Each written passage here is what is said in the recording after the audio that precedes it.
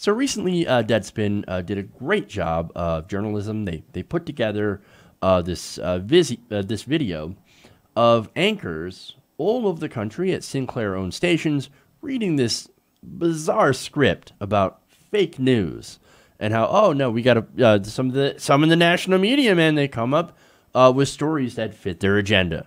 Well, look, that is classic projection from this ultra right wing station. Uh, now, since that video has come out, a lot of anchors have begun speaking out about having to read that script. Now, these are these are people that work at Sinclair affiliated stations. In fact, one local anchor said, quote, "At my station, everyone was uncomfortable doing it. The person insisted on anonymity because they believed they would be fired for speaking out. So that that's one of the things that we're going to talk about as well. Um, what Sinclair does to people who do not toe the official line, who do not toe uh, what is politically correct. Now, look, uh, when you hear politically correct, all you think about is, oh, the liberals are telling people what to say, the proper gender pronouns. How terrible! It's so PC. Why can't we just why can't we just say what we want? Well, because most of the time when you say something that is anti that is not PC, usually it means you're being a dick to somebody who has little power to challenge you. Just saying. Now, but the real definition of PC, not the right wing version of PC, is saying things that the government concludes that are politically correct.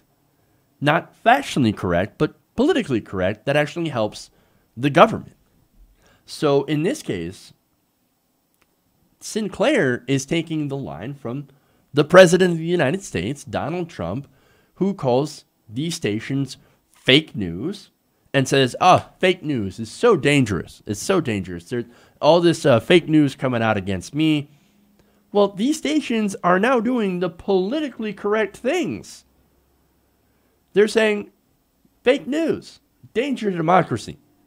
You can't get more politically correct than what they're actually doing. And this is by the real definition. And by the way, that definition uh, of, of political correctness was used in both uh, the, uh, the Germans uh, in, uh, under Hitler uh, and Stalin. So they both were like, no, don't put out actual facts. You need to put out what is politically correct. What is not actually correct, but politically correct. So now that we have that established, uh, what Sinclair has been doing is the definition of political correctness. Anyway, now, uh, these anchors, as I said, they're not happy about this. Uh, one of the other anchors um, uh, anonymously had said, quote, I felt like a POW recording a message. So that's how some of your local anchors feel about doing this propaganda, which it absolutely is. Now, um, there are some people, as I said, that are anonymous that are speaking out, but then there are some people that are not anonymous uh, that are strictly speaking out. Uh, and I love this. One of them is Bob Herzog. Now, Herzog is an anchor at Sinclair's Cincinnati station WKRC. Now, he tweeted to his viewers, quote, this morning, I am part of a five and a, hour, uh, five and a half hour newscast that was constructed by hardworking producers who have been in the room right next to me hammering away all night.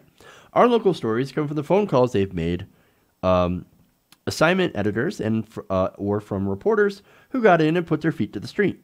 Our national stories come from CBS News, CNN, and yes, our parent company. We have a lot of resources and do our best to use them to deliver the news fairly. I work with good folks. That's all I've got for you. So, look, he's saying, yeah, look, CNN I get stories from CNN. I get stories from other news out, uh, agencies that we uh, that a lot of our other anchors have been forced to say, uh, thanks to this script, are fake news. Well, no, we use those sources, so we're not doing fake news. They're not doing fake news. We're just trying to do the news. So now you have another one here uh, who directly speaks out more forcefully uh, and takes basically a shot at Sinclair. Quote, uh, a producer at WGN, one of the Tribune stations Sinclair wants to require, uh, tweeted on Monday, "There's no way any of our on-air anchors or reporters will read their scripted messages on your on our show. Chicago's very own, not owned." so that's awesome. Uh, again, this is uh, a station that could be acquired by Sinclair. So they're taking a direct shot. Uh, now, there's more here. Um, former employees are also uh, speaking out. One of them is Kirk Clyott. He's a former anchor at a Sinclair owned station in Baltimore, Maryland. He told MSNBC on Monday that local affiliates have been required to replace regionally focused stories with these focused uh, with these forced must run lockstep with the Trump administration commentaries. Quote, you have these extreme commentaries coming from the station in a very cookie cutter way that is certainly not good for America.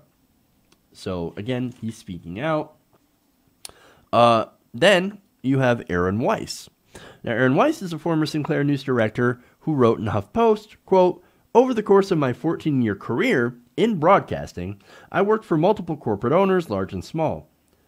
Uh, now, he says, I have good friends that are anchors, reporters, and executives at other uh, station groups across the country.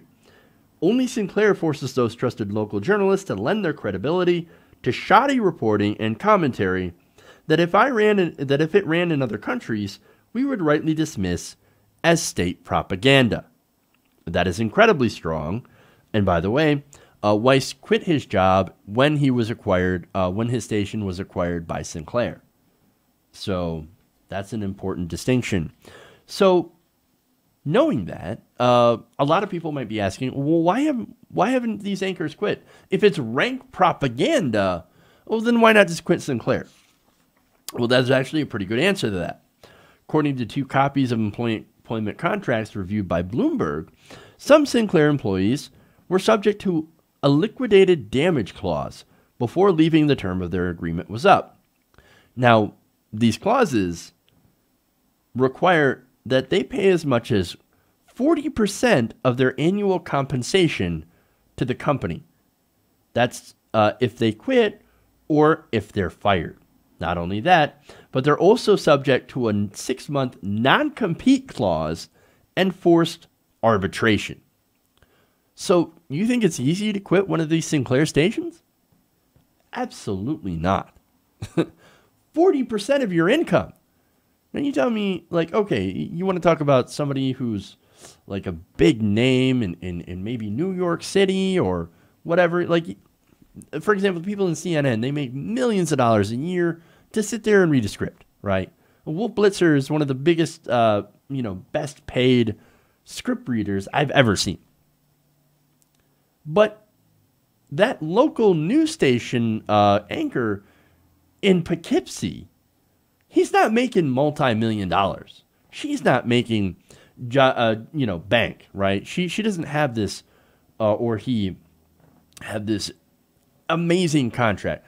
No, some people start out at like nineteen thousand dollars a year, not very much, and they have to work their way up, and and then maybe they'll get uh, acquired by a bigger news station. So look, the the reason that a lot of these people don't leave is because they can't. So they get acquired by Sinclair, which is looking to become uh, a, a part of 72% of households. Right now, they have about 38% of households. If they get Tribune Entertainment, they're going to be in 72% of households all across the country. These anchors aren't going to have a choice. They're not going to have the ability to go and find another job. Again, you've got that non compete clause, and they're not going to be able to afford to quit or afford to get fired by speaking out. So they're caught in a really bad position.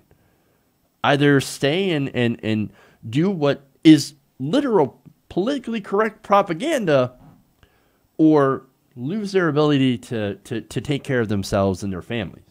I mean, that, that is a terrible position to be caught into. Now, there's more, right? So I've got uh, one more person here who was a former reporter for a CBS affiliate, WPEC News 12 in West Palm Beach. This is James Beaton. He said that while he was at the station, he was ordered to do a man on the street interviews that he felt were politically biased. Now, to give you some uh, context, this guy's a Republican, right? He's a conservative, he's a Republican voter. Um, and all that stuff, right? Well, he was asked to do loaded questions for Sinclair. For example, how much do you disagree with Obama this year? He said it quote, was, quote, disguised as real journalism. And he says that even though he's a Republican, he's still incredibly pissed. Well, that's understandable because this guy, again, was doing propaganda for the network. He was told to do propaganda and not actual journalism. Look, what, what Sinclair is doing is breaking every single ethics rule in journalism. I'm not even a journalist, I'm a commentator, right? I do commentary, but I still try to hold some sort of standards uh, when it comes to look, I'm going to give you the facts, and then I'm going to give you my opinion on those facts. But Sinclair doesn't even want to give you the facts. And they're doing, as I said before, state media propaganda uh, to prop up the Trump administration.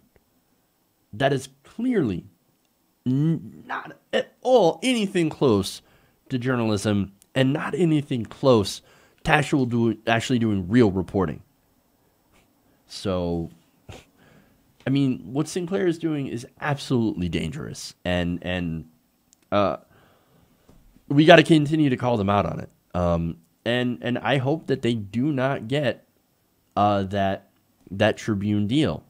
If they do, then I hope that people will turn away from uh, that news, that that that station, uh, the Sinclair owned stations, and go online uh, where real news actually still exists. Other than that, I don't know what else to do. Hey everybody, thanks for watching this video. If you want to see more like this, please hit the subscribe button below. And if you want to support truly independent progressive media, please consider becoming a patron at patreon.com slash tytnation.